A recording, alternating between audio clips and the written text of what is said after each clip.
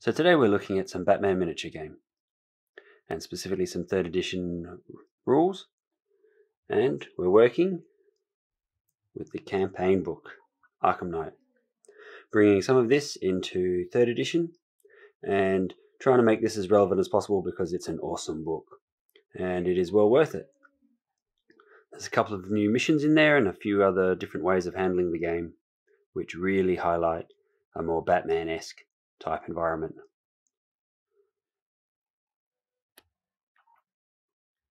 So, in today's episode, we're pulling something out of here. And in this installment, we're looking at making up our own tree campaign or our own campaign story mode.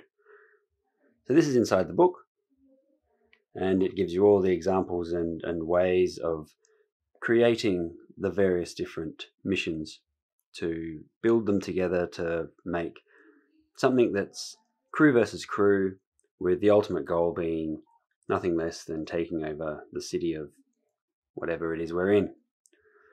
Today I've taken more of a leaf out of the campaign setting of the Arkham Knight game element.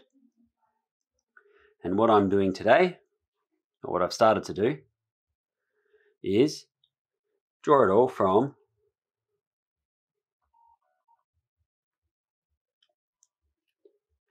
Arrow Season 1. So from here, building sequences of missions with the overall goal of putting together a full story in campaign mode. Not without its uh, little problems in doing such a conversion, but we're giving it a shot. So the first thing I had to do was build a pathway and referring back to the episode list, working out where certain missions may fall. And then working it from there using the uh, names of the episodes as an idea of who goes what and where next.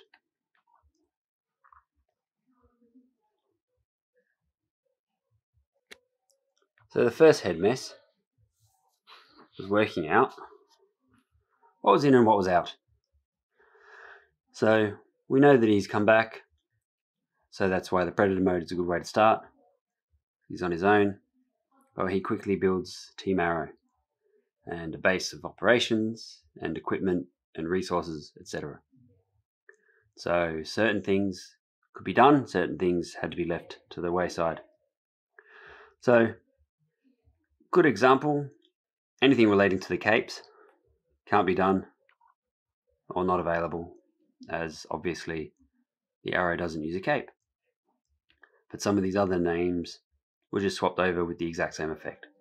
Batclaw disarm becomes hook arrow disarm, and so on. Batwing support, Felicity Smoak tech support.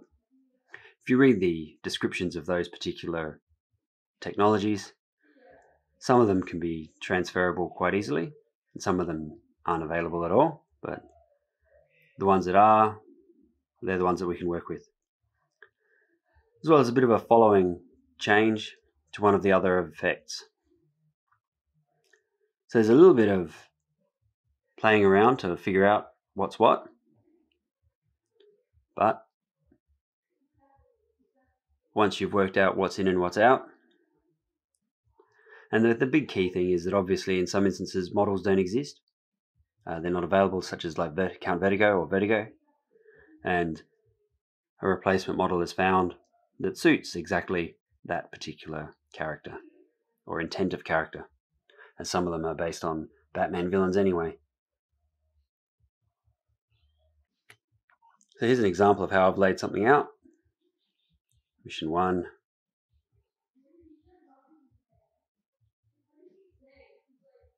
Any special notes?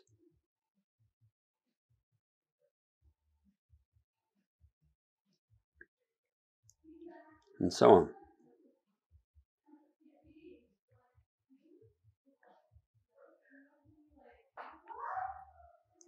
So here's an example of one where the character doesn't exist. So I've just swapped him over with Scarecrow because it's uh, the way that Vertigo was portrayed within the TV series was a lot more closer to Scarecrow than anything else.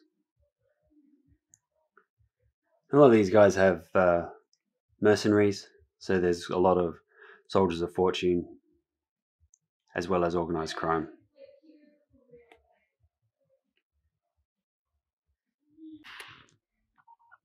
So inside the, the book for the Arkham Knight campaign, there's a number of specific campaign options.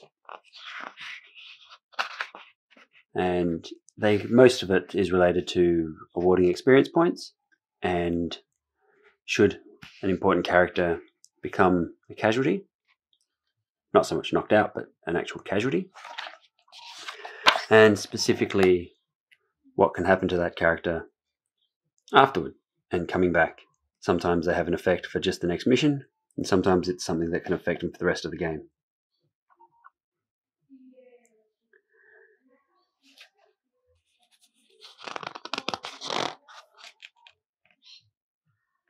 And the experience points.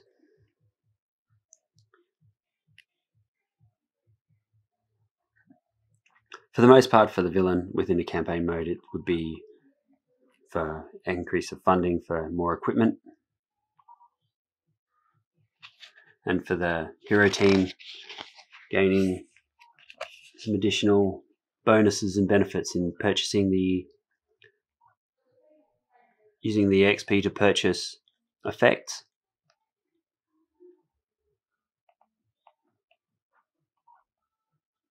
Campaign traits, increasing skills, cancelling injuries, and so on.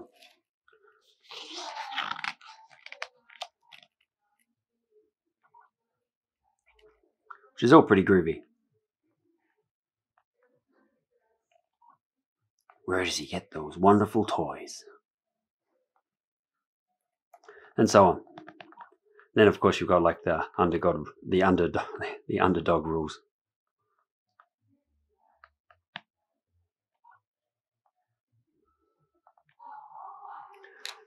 So this book has a lot of hidden gems inside and is well worth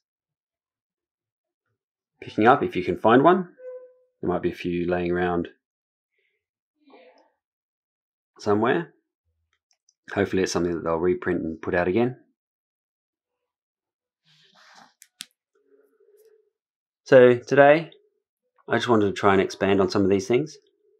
And the games themselves really do match. I mean, when you're doing a campaign, you can follow specific rule sets that are within missions, choosing the type mission types that are appropriate with all the suspect markers, etc. Or you can make your own um, end game result for that scenario.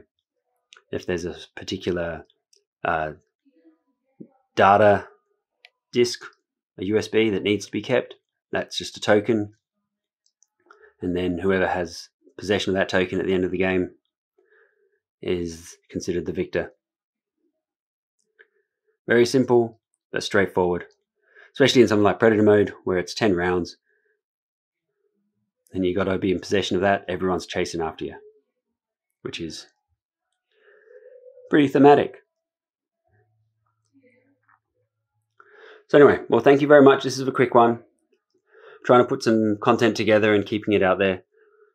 Everyone has to stay safe, do the right thing, and hopefully we'll be able to uh, muscle our way through this and get into some games where we can really push some campaigns and get some activities happening.